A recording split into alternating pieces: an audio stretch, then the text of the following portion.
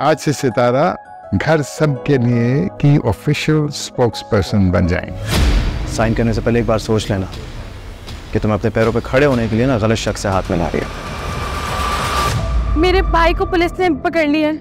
बेटा आप इतनी बड़ी एनजीओ की स्पोक्स पर्सन है। आप जाके थाने में बैठ जाएँ।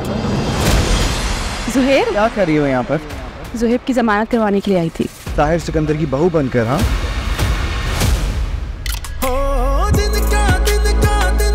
देखिए कफारा। आज रात नौ बजे। सिर्फ़ जियो पर।